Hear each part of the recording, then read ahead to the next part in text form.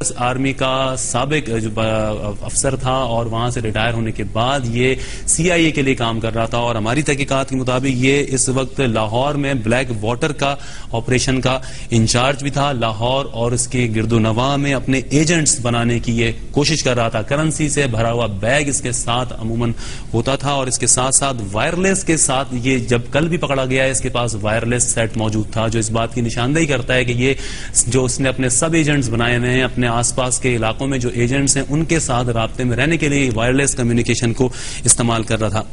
उर्दू के साथ पश्तों पर भी इसको अबूर हासिल था। इसके साथ साथ पिशावर से भी इसे नापसंदीदा शख्सियत करार देकर पहले भी वापस भेजा जा चुका है और अमरीकी अभी हम देख रहे हैं कि इसे दोबारा निकालने के लिए एड़ी चोटी का ज़ोर लगा रहे हैं। कल भी अमरीकी सफारत खाने में रात गए तक इजलास उतरा।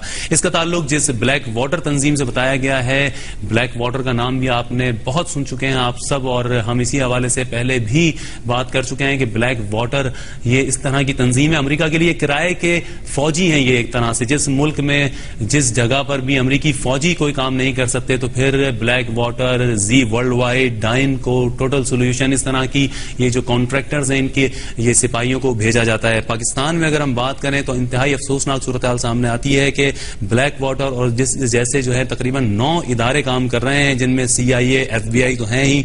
Black water ji worldwide total solution Horseman C I A की front organisation C A nine nine nine DynCorp FDA special services team और इन सबको ज्वाइंट स्पेशल ऑपरेशन कमांड के तहत कंट्रोल किया जा रहा है।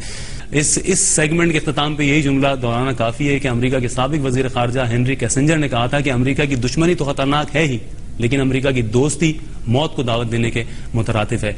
यहाँ पे लेते हैं एक ब्रेक और इसके बाद बात करेंगे स्टील मिल के सबक चेयरमैन जो अब सबक हो गए ए के लोधी, उनकी बरतरफी और कुछ और खबरों के हवाले से।